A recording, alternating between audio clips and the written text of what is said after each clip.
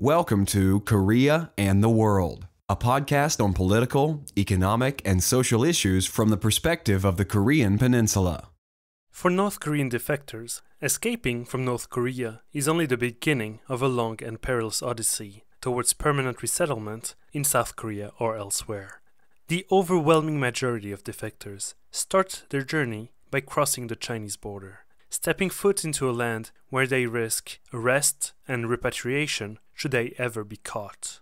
Their status as illegal immigrants makes them vulnerable to all kind of exploitation, such as forced labor, human trafficking, and prostitution. One organization helping defectors on the ground and smuggling them out of China is Liberty in North Korea, a non governmental organization headquartered in the United States. We had the pleasure of interviewing its Director of Research and Strategy, Sokeel Park, who talked to us about the dangers defectors face in China and LiNK's mission to provide them with much needed relief and support. Sokeel Park worked for the Korean government and the United Nations before joining LiNK's Seoul office, where he's in charge of research and global media outreach. He belongs to the community of global shapers of the World Economic Forum and has lectured about North Korea and LiNK's operations around the world.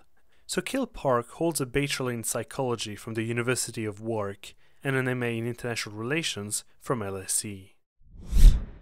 Sokeel Park, welcome to Korea and the World. Thank you very much for having me.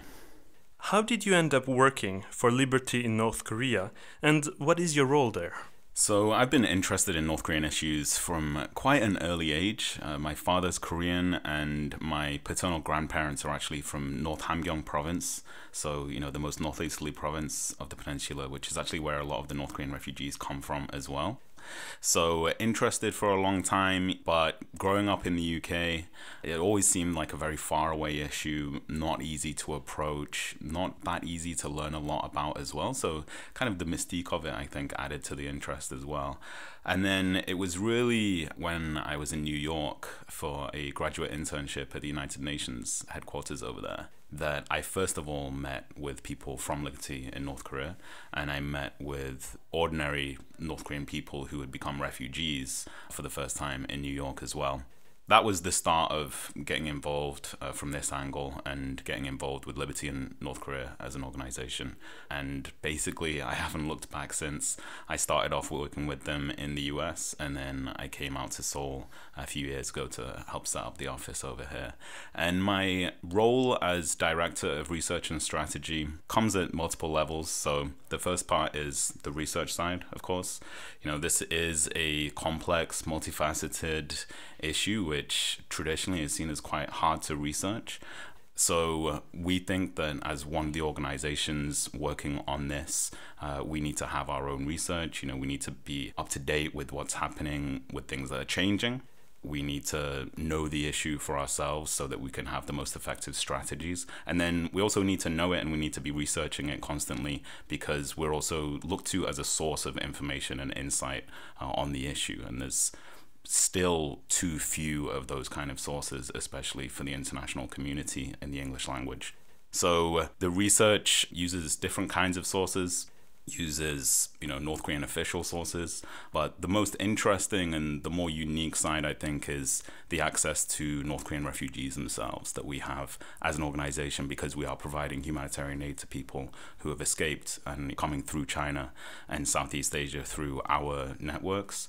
And so we have quite a unique opportunity to speak with people that have just recently left the country and to get direct insights from them about what's happening in their home communities uh, sometimes, you know, just days after they actually left.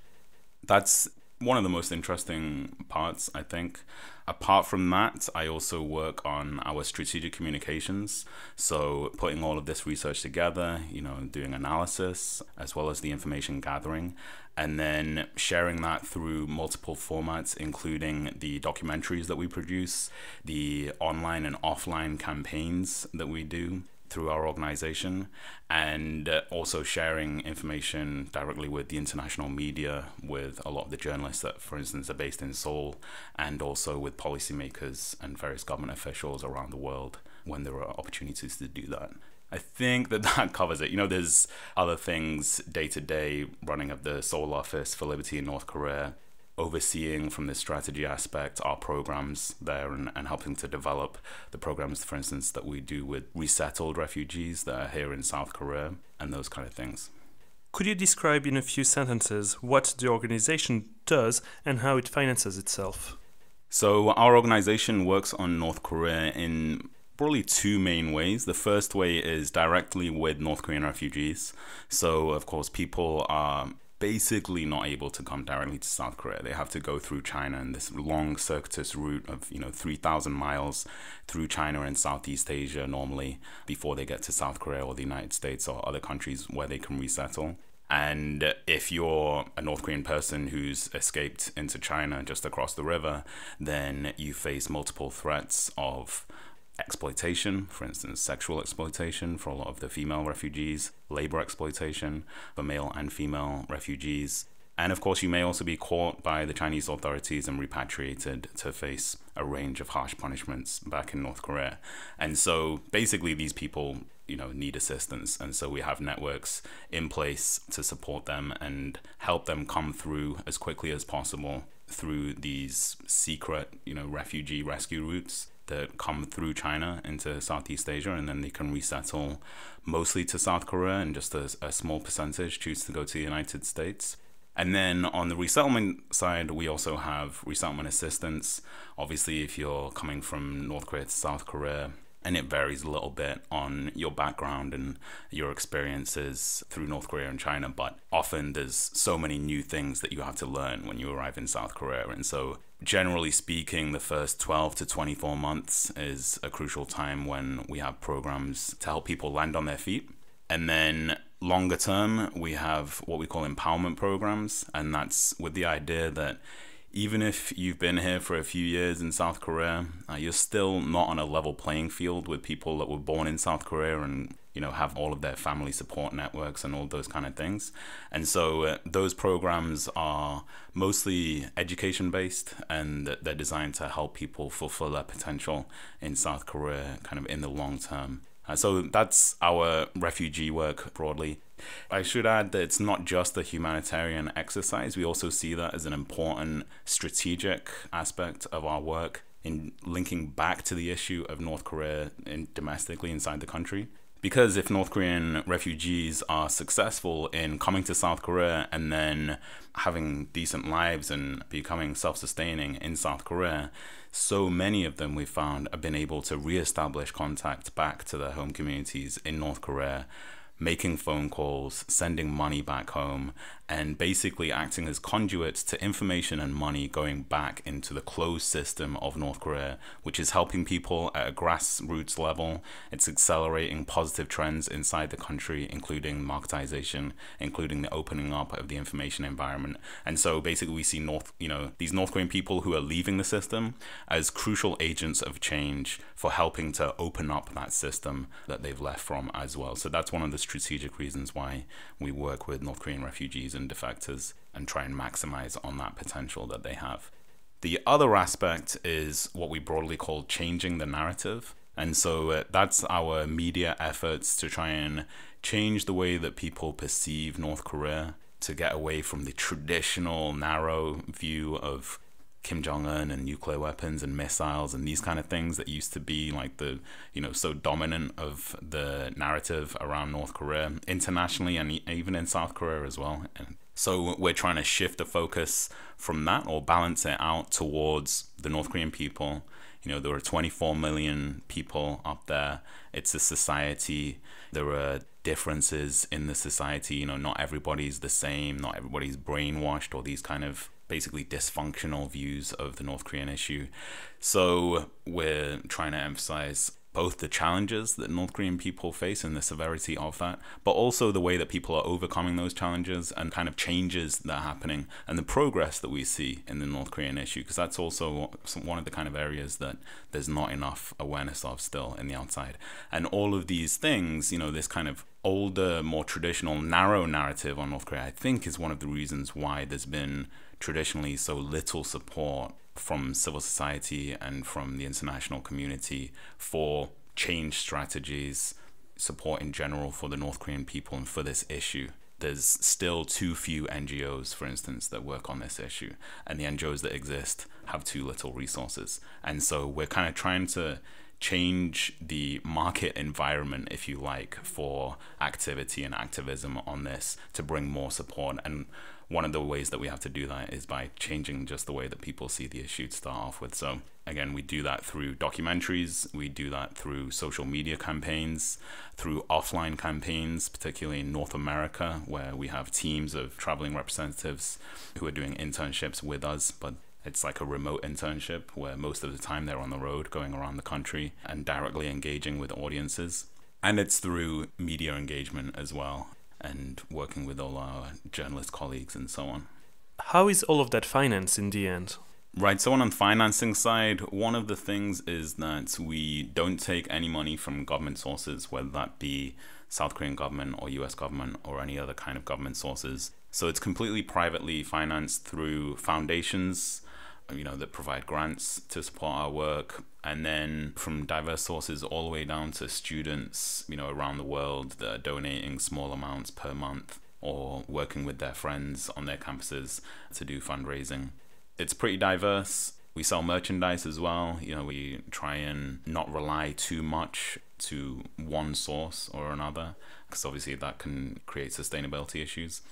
Yeah, basically, it's all down to the amazing community of supporters that we have around the world that believe in our mission and want to contribute to our work. Liberty North Korea is best known for its refugee rescues.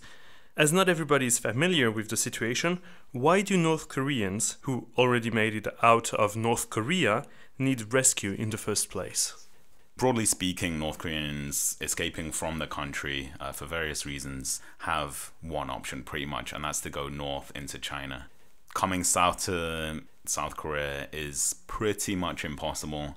I think that roughly over the last five years, only 65 people have managed to make it directly from North Korea to South Korea without going through China. And uh, 59 out of 65 have come through the sea route on various kinds of boats, or actually, I think there were a couple of swimmers as well and then six people actually amazingly managed to come just directly overland and those would be you know frontline north korean soldiers just coming across the dmz so apart from you know 65 over the last five years more than 10000 people have made it through china and then mostly through southeast asia.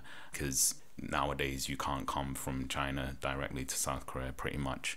Those kind of routes are shut off as well so once you, as a North Korean person, have escaped, you know, across the river into China, and I was there earlier last year, and it's one thing to look into North Korea and imagine, you know, what it's like to live there and those kind of things, but it's another to look from that border into China and imagine that you're a North Korean person that maybe doesn't know anybody, maybe doesn't really have any money, maybe doesn't have any contacts, and you somehow have to get through this huge country of China without getting caught by somebody that might exploit you or by the Chinese authorities and you have to get to a third country, you know, in Southeast Asia or Mongolia or somewhere else.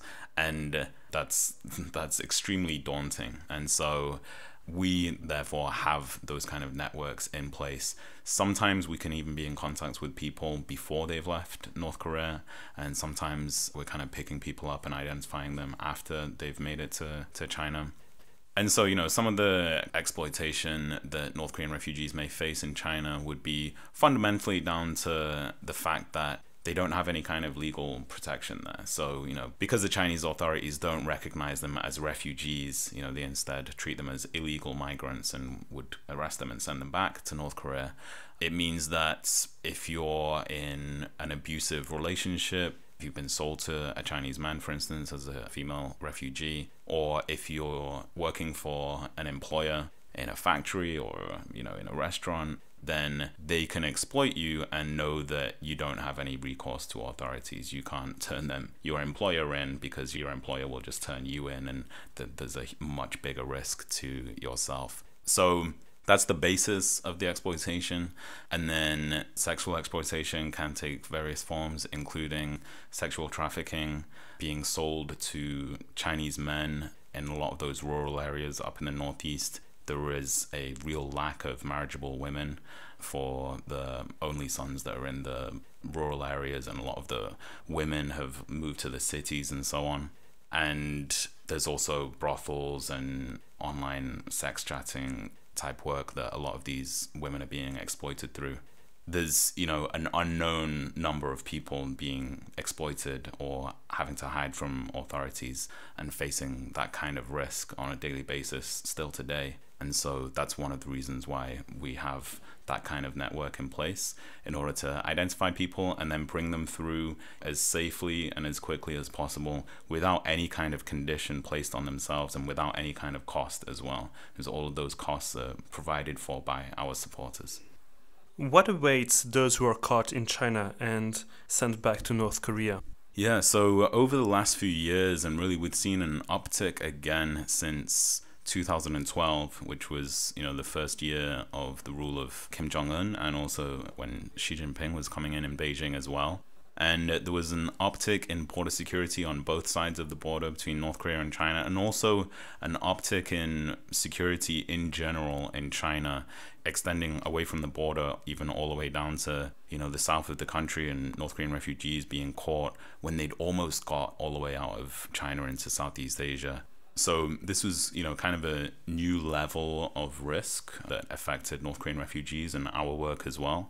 And uh, when North Korean refugees are caught and sent back to North Korea, broadly it depends on different factors, but I think that one of the biggest ones is what they were suspected of doing when they were in China or I guess what kind of crime they're suspected of. So, for instance, if you're suspected of meeting with South Koreans or Christians or Americans when, when you were in China, or of trying to get all the way to South Korea, something kind of more serious, then you, your punishment would be proportionally higher. Whereas if you were just suspected of temporarily trying to go to China to maybe do a bit of work, maybe meet somebody and come back quickly, then you're not seen as as much of a threat as much of kind of an anti-government kind of figure or anti-system. You're not going to be uh, suspected of spying or being in contact with hostile networks and those kind of things. That's how their narrative works in in their country, right?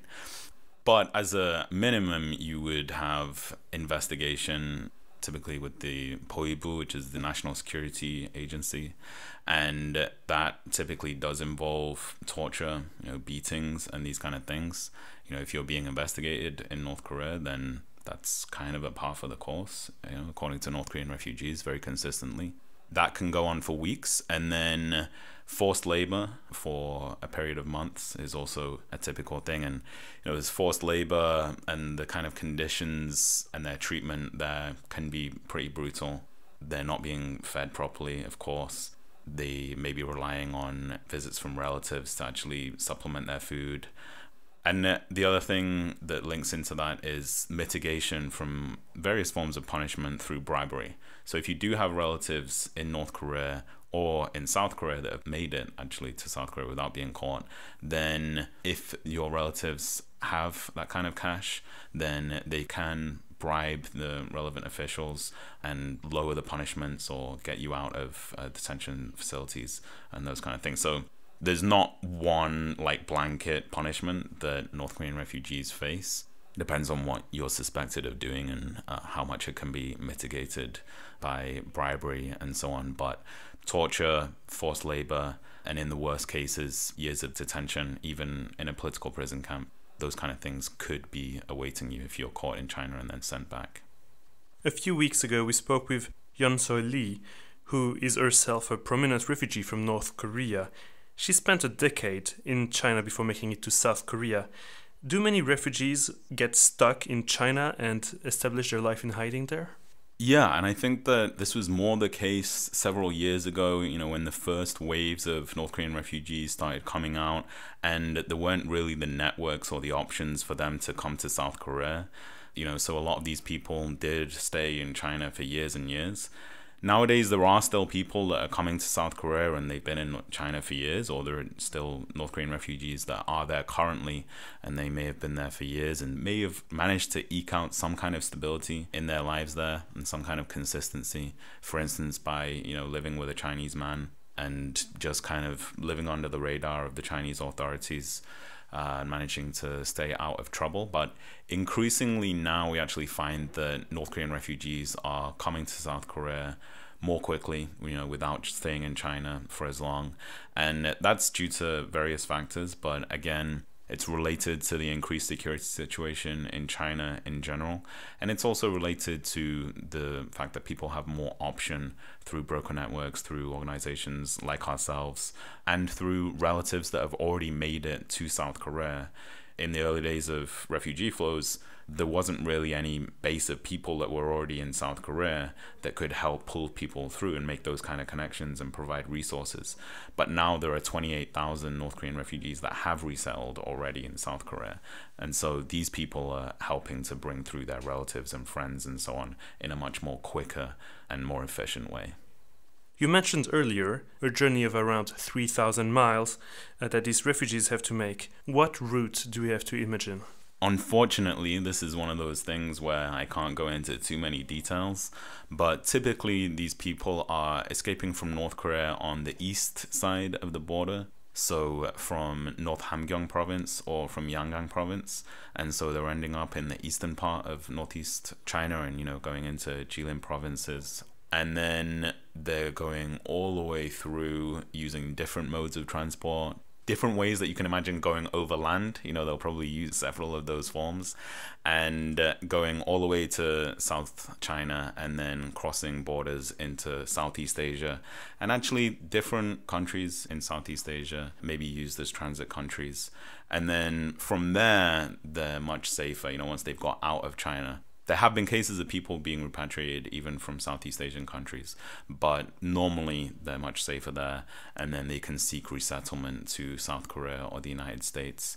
And the process to come to South Korea is fairly well established, kind of been worked out with the local authorities. And so people are coming here and then they have the processing in South Korea. So they go through the National Intelligence Service debriefing and investigation and then they go through the Hanawon South Korean resettlement education facility before they actually just live in South Korea as a citizen here. This might be a somewhat of a naive question, but why don't they just go to Russia? North Korea does share a very short border with Russia on the north side, on the east, of course. But there's not really routes going through Russia, and one of the reasons is that it's just there's so little population and even if you can travel into Russia, then there's not a definite route. Then, you know, if you end up in Vladivostok, for instance, or somewhere, or even if you got all the way to Moscow, there's not a definite process to then come to South Korea. There have been some refugees that have seemed to have come through Russia, but it seems to be dealt with on kind of an ad hoc way. And there have been cases reported where North Korean refugees have been sent back to China as well. So it's not definite, it's not easy. And so even if going all the way through China into Southeast Asia is a lot longer, the geography and the general, you know, level of population and the infrastructure of routes and, and travel and so on uh, is just better placed there. That's another reason why people go to Southeast Asia instead of going to Mongolia, for instance. Mongolia is, is closer than Southeast Asia from Northeast China but the geography of it is just so difficult and you know there have been people that have died trying to cross the gobi desert for instance whereas the geography going towards southeast asia is not so perilous basically another very naive question why don't they just go to the south korean embassy in beijing? So the embassy routes did used to be used much longer ago you know kind of late 90s early 2000s there were people that were not just going into the South Korean diplomatic outpost, but European consulates and, and embassies and the US diplomatic outposts as well.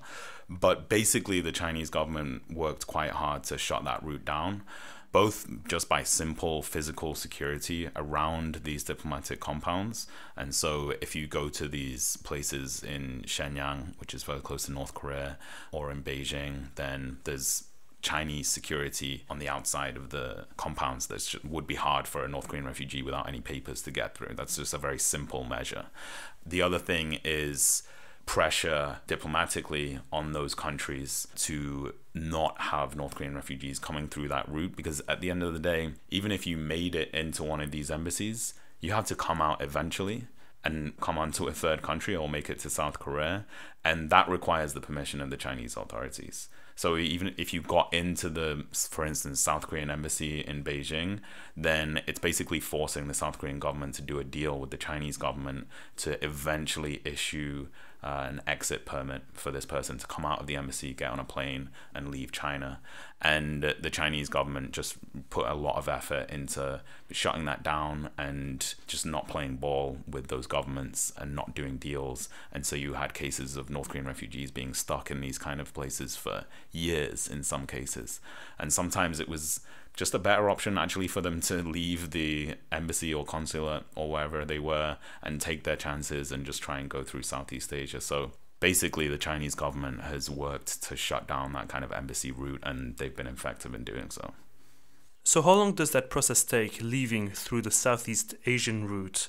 So the process, uh, it, it of course varies from case to case and depending on security situations uh, in in various areas and there is some processing that has to happen on the Southeast Asian side as well. But a lot of the travel can happen in a week or two weeks, or you know, this kind of small number of days, smallish number of days. And then some of the processing kind of depends on which country you're in and so on. But let's keep it kind of broad and a little bit vague, but somebody could leave North Korea and be in South Korea, you know, on South Korean territory within one to two months. Is South Korea always the destination of those journeys? So, through our organization, North Korean refugees can choose to, and we inform them of their options to come to South Korea or go to the United States.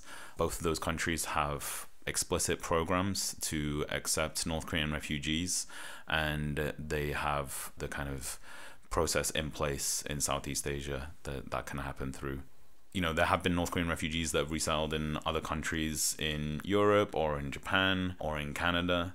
This has happened in different ways or, you know, using different kinds of routes or processes. But through us, they're coming to South Korea in the vast majority of cases. That's kind of the natural default choice for them. That's the obvious one. You know, if they have an idea of leaving China and resettling in a different country, then South Korea is the obvious one that's culturally, linguistically, and, and socially and so on closer to what they expect, even if all of those things are a little bit different than North Korea. Around 5% or a little bit less than 5% of the people that we work with are choosing to go to the United States. And this is out of over 400 people that we've helped to come through over the last few years. Most of this is in the last, you know, two or three years. Once the individual is in Southeast Asia, is there any significant difference in how difficult it is to get to the US or to South Korea or any other country? Yeah, the broad difference is that coming to South Korea, the processing is on the back end, meaning after you've come to South Korea.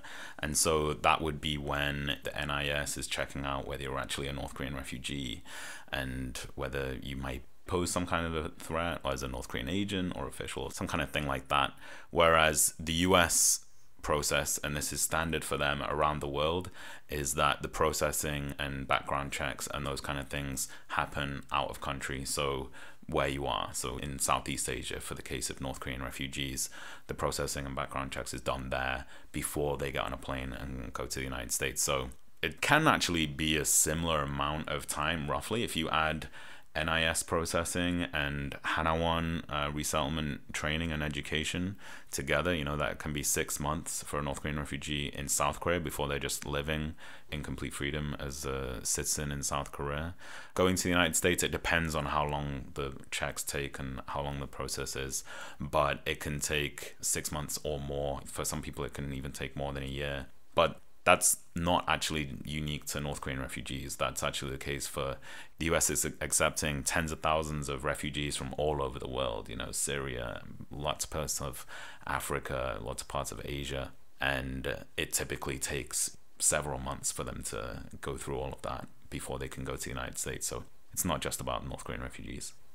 Your website states that, and I quote, it cost $3,000 to rescue one refugee and empower them in their new life. Could you explain us where that money goes? Sure. So, actually, the best information that I can share with you on that would be directly on the website. So, listeners could check that out on libertyinnorthkorea.org as well, because I can't remember the exact dollar breakdowns there. But it goes to staffing costs for people that are in the field and helping people to come through. It goes to accommodation, food, that kind of basic protection for North Korean refugees as they come through and it goes to the various kind of fees that are, have to be paid to bring people through. And then out of that, there is a portion, as it says on the website, which is dedicated to supporting them in the resettlement phase and into the long term of that as well.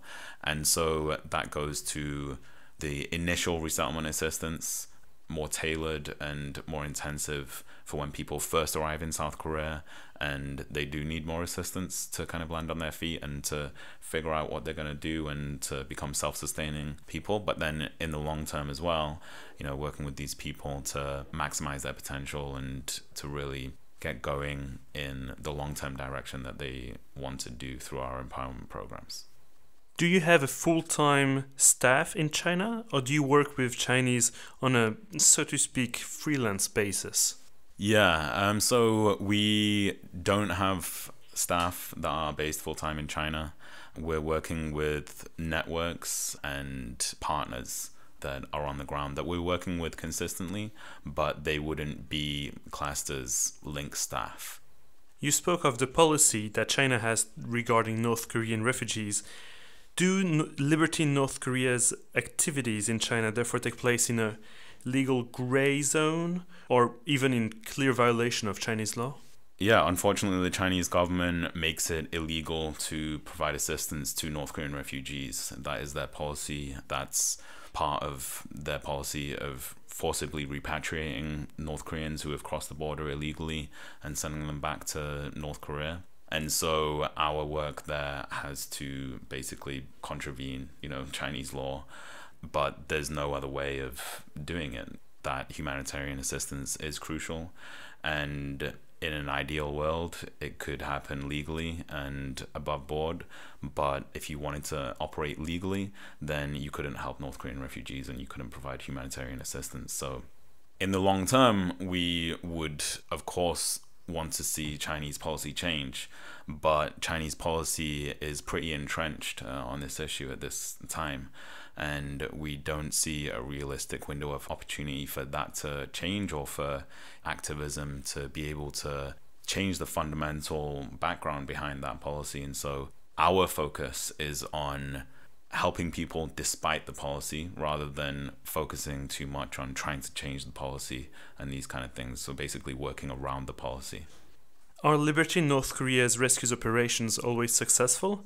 Or are there cases in which you provide support to refugees, but for one reason or the other, uh, something goes wrong? Yeah, so this is one of the areas where it's difficult to talk about, both for operational security reasons, but also because is a tragedy, you know, whenever something is not successful in the field not all of our work is successful. Uh, we do place a really high priority on operational security. We think about that a lot. We really try not to take risks. There's, of course, like some element of risk if you're working in the field. And so we are able to maintain an extremely high success rate with our field work, but it's not 100%. Um, it's actually quite close to 100%, but it's not 100%. And you know, for security reasons and for the protection of the people that are coming through the network, and for some of those unsuccessful cases, we can't provide like a real time success rate to the outside world. But it's it is a it is a tragedy and it's a real risk that we face with this work, and you know, it's something that we have to work through basically as an organization, but kind of on the optimistic side, we've been able to bring through 145 people last year, for instance. We've been able to bring through over 400 people in total. The amount of work that we've been able to do has been increasing year on year over the last several years, and we've been able to manage that through security crackdowns and whilst maintaining very high security and really minimizing the risks to the North Korean refugees and the other kind of people that we work with out there. So, yeah. How do North Koreans normally get in touch with you uh, in the first place and where? So, North Korean people are normally accessing our networks and coming in touch with us through two main ways.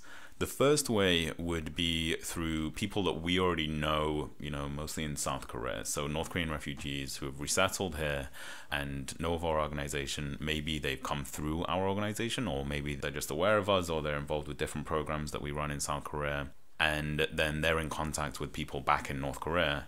It may be their brother or their mother or a friend or somebody else that they're aware of that wants to come out. Then that's you know, in general, a safer way that we can be in contact with people. They've already been vetted to a certain extent by being in contact with somebody that we know in South Korea. There will be a vetting that would go on, but it makes it a little bit easier because we can be in contact and know, for instance, when this person might be leaving North Korea and then be better placed to then pick them up and bring them through our network quite quickly. The other way would be North Korean refugees who are already in China and you know are living in this case of kind of limbo and facing the risk of being caught and repatriated and so on. And these people would come into our networks basically through the contacts that we have on the ground in northeast China and North Korean refugees come into contact with these people, and then if they're expressing a need or a desire to leave China, but they they need that kind of assistance, then they go through the vetting, and then they're able to come through. You mentioned a vetting system. What does it entail, and why is it done? Sure. So people need to be vetted, of course, at some level because there is the risk of either North Korean government or Chinese government interference or disruption of our networks. Somebody could pose as a North Korean refugee in order to gain access to our networks, in order to expose it or to get people arrested and those kind of things. And so people have to be vetted. I unfortunately, and I think probably for reasons that could be guessed, I can't really include information about what that would really look like, but it seems to be kind of working. So during the actual journey, what type of obstacles are refugees expected to face? Uh, for example, are there frequent passport controls? Yeah, I mean, people that have traveled through China or live there will know that it is basically a country where you need to show papers, you know, when you're getting bus tickets or train tickets and these kind of things, or if you're staying in hotels. Uh, so, in general, it can be a challenge if you don't have any papers and so uh, people are having to evade basically those kind of checks from the authorities and, and get all the way through in safety. Let's take a step back and look at the greater picture. In 2015, and according to the Ministry of Unification, almost 1,300 refugees made it to South Korea. Do we also know how many made it out of North Korea and into China, but not to a third country? Yeah, unfortunately, you know, this is the kind of area where it's very difficult to get statistics because, of course, there's no North Korean statistics on the number of people that are escaping. There's no Chinese statistics on the number of people that are arriving or being caught and sent back. There's, a, of course, zero transparency on those kind of things. And even if you're working there on the ground, then you only know what you're in contact with and you don't have the bigger picture. So, it's basically very hard to know things like how many people are leaving North Korea, what percentage of them are making it to South Korea, and how many people are being sent back, and those kind of things. The best thing that we have to work with is the official numbers that are released, as you said, by the Ministry of Unification here, which is the number of arrivals. And then you can kind of back into whether it looks like flows are increasing or decreasing, but there are those unknown factors, so it's it's just a difficult area to research. The number of refugees arrivals in South Korea last year have been at a 13-year low. Did Liberty North Korea notice a decline in the numbers, and do you have any explanation for that? Yeah, so we also, you know, pay a lot of attention to these kind of numbers that are coming out of the South Korean government. And broadly speaking, you know, not just with the decrease last year, but there's been a decrease since 2011. the last year under Kim Jong il, and then to 2012 it decreased by almost half, went down to 1,500 from 2,700, and then since then it's gone, you know, 1,500 and then down to 1,400, and then last year just less than 1,300. And so this is a trend that we're watching and that we're concerned about, of course. There were different reasons for that, and there's different people that maybe have different ideas of their analysis on it. But I think that broadly speaking, there's an agreement that it's an interplay between different factors. And the primary thing is the big increase in border security on both sides of the North Korea China border, and then the security situation in China as well, as I mentioned before. And so, you know, this is very consistently been reported through different sources, whether it be North Korean refugees themselves saying that the border security is a lot higher than it used to be several years ago. People that are working on the border, including foreigners, and people who are helping North Korean refugees come through. It's more difficult the prices of bribes and so on are increasing and the security situation in China is getting worse. Those are all pretty widely acknowledged facts. It's not the only factor though.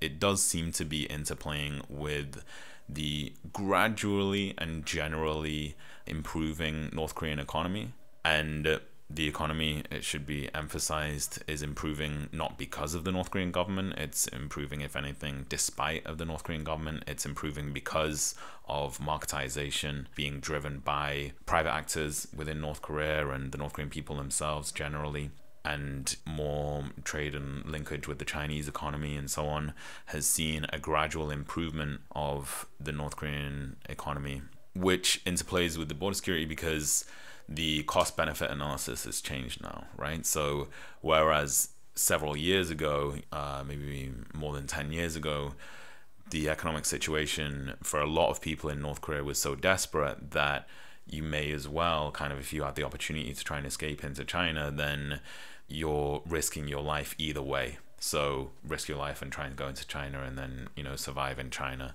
Nowadays it's less so for that kind of survival escape. It's people increasingly that can survive in North Korea. They're living with enough food on a day to day basis. I mean, there is still malnutrition, but it's maybe just not at quite the starvation levels that it used to be. And then if you add the factors of things are slightly better economically in North Korea and the risk and cost of trying to escape has really increased, then uh, I think that you get a cost benefit analysis where more people are saying, well, maybe we'll sit this out for a little bit. Maybe we'll wait, you know, hold on. People are generally hopeful, right, about their lives and about the future. And so let's see if things kind of die down, the border security kind of reverts back a little bit. And then maybe if we have some assistance, then maybe we can try and escape there's other things that are going on as well. You know, there's a change in the information environment. There's a change in the propaganda strategies of the North Korean government around the defection issue itself as well. But you know, according to North Korean refugees, it is these different factors that are playing in, and they also do say that there's a lot of people in North Korea that would escape from their own home communities if they had the opportunity and if they had access to a route that wouldn't be that high level of risk leaving North Korea and coming all the way through China. What about things on your hand? Is the work of supporting refugees getting easier or harder? Uh, on the one hand, North Koreans and Chinese authorities are cracking down more heavily than ever, but the linkages between North Korean citizens and the outside world seem to be growing stronger. Yeah, it's an interesting question. I would say that overall it is getting more difficult just because one of the biggest constraints to our work is the security situation on the border and more broadly in China. And that, as I mentioned, you know, there has been an uptick in that since around 2012. And there was already a trend of actually a worsening security situation before that, but there was kind of a ramping up of it with the political transitions and since then as well.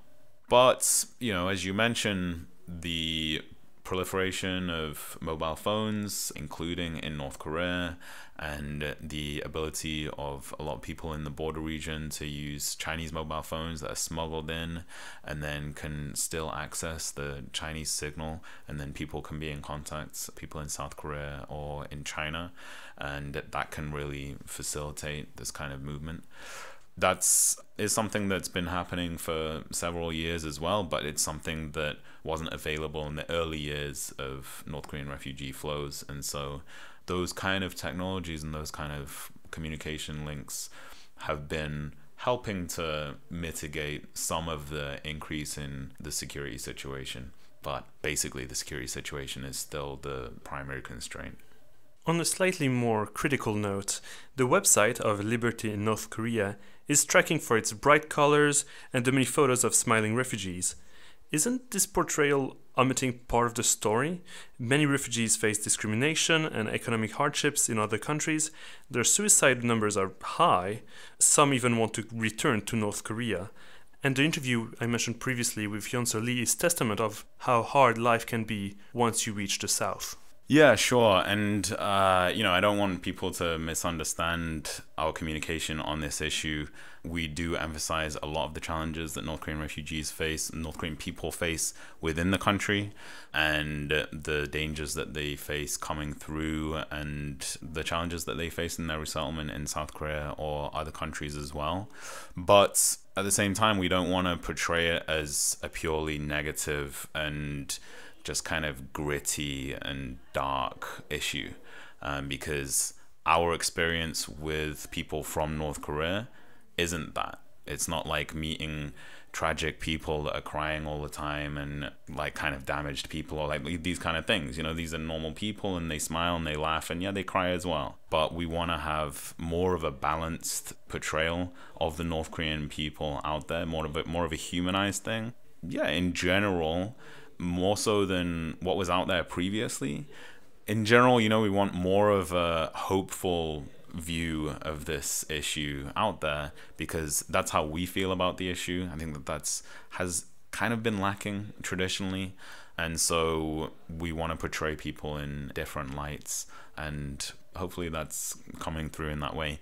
You know, we also just face a difficulty of we can't show as much as maybe other issues and NGOs working on different humanitarian issues can show. Because as a security issue, we can't take photos in the field, you know, in China and show refugees' faces or show locations and these kind of things.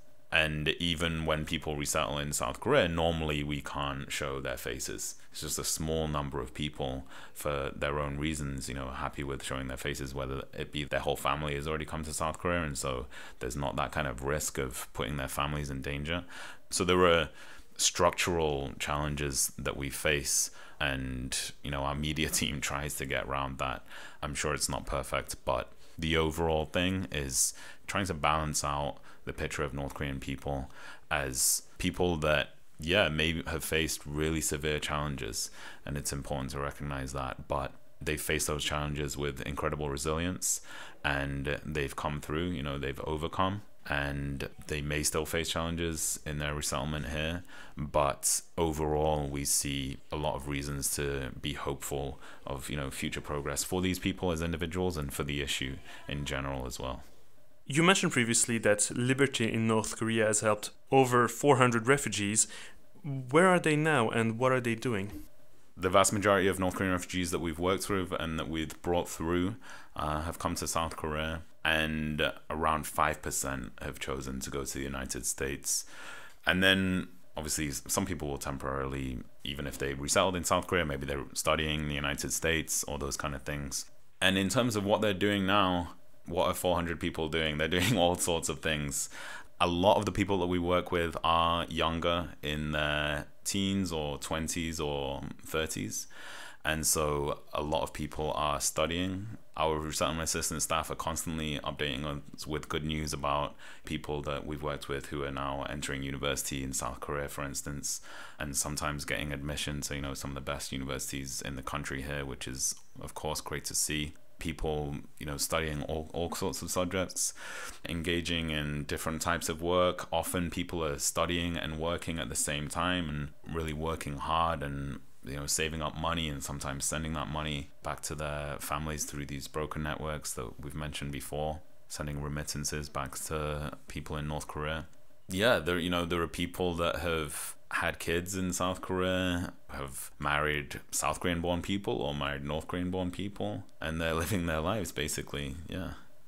To conclude, if our listeners want to get involved with you and support liberty in North Korea, what is the best way to do that, and how can those who have little to no money to spare contribute? Sure. So there are different ways to contribute to this work on North Korea. The first entry point, unsurprisingly, would be our website, which is libertyinnorthkorea.org. Uh, it's liberty in North Korea, all as one word, and then .org. We also, you know, are operating in the main social media channels: Facebook, Twitter, Instagram, and so on. And people can follow our work there. And uh, through that and through our website, there are different ways to support and get involved in our work there are different opportunities to fundraise or donate. So even if you don't have a lot of capacity or, or spare cash right now to donate, then you can fundraise by setting up your own page and then being creative, doing something and kind of getting sponsorship from your friends, from your family, and those kind of things. There are people that, for instance, will donate their birthday to this issue and ask for, instead of gifts, ask for donations. So um, there are various routes to contribute financially. And then non-financially we do you know rely on volunteers especially in south korea and a little bit in the united states as well for some of our work with resettled north korean refugees. So as an example we have english tutoring and mentoring opportunities here in south korea for people that are interested in contributing in that way. We have a rescue teams program which is not just students could be different groups of people and they're all over the world and they work in their local communities whether that be on their campus or within their company or within their religious institution uh, or just community in order to bring more people in support of this issue, this cause, and the North Korean people, and to do fundraising drives and also to work on changing the way that people see North Korea at their local level as well. Um, so there are multiple ways depending on where you are in the world and uh, where you are, you know, with how much time you have and so on. But yeah, I'll just ask people, you know, to kindly visit our website and be in contact with either of our offices around the world in order to support our work. Again, we don't have government sources of funding and these kind of things. We rely completely on individuals and, and private sources of support uh, around the world to continue to do this work and to build it up to the next level. Sokeel Park, thank you so much for your time. Thank you very much. This is a great chat. This was Korea and the World. To make sure you don't miss our next episode, bookmark our website, koreaandtheworld.org, subscribe to our podcast on iTunes, and follow us on Facebook and Twitter.